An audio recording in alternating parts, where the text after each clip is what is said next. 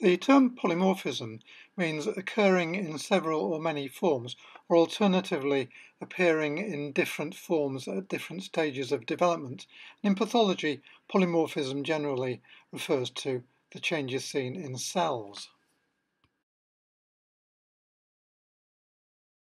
A couple of pathological conditions characterized by polymorphism include polymorphic B-cell hyperplasia. This is a change seen in infectious mononucleosis, and polymorphic post-transplant lymphoproliferative disorder or PTLD. This is an example of polymorphic B-cell hyperplasia in a lymph node from a patient who had infectious mononucleosis.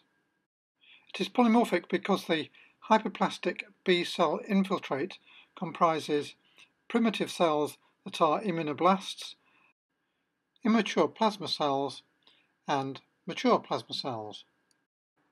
The cells we are zooming into are immunoblasts. These have got large, pale nuclei with very prominent nucleoli.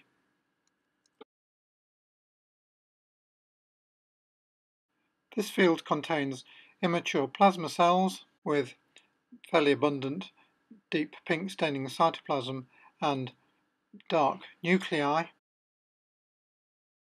And here is a collection of fully mature plasma cells with their eccentric nuclei with the cartwheel pattern of chromatin and purplish cytoplasm.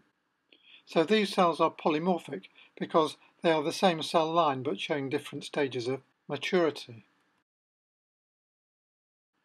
The spermatocytic tumour of the testis, also known as spermatocytic seminoma, is another good example of a tumour characterized by cells exhibiting polymorphism. There are three types of cells that are small cells resembling lymphocytes, intermediate sized cells, and enormous cells. So because the variation in the size of these cells occurs at different stages of development, they are described as polymorphic and not pleomorphic.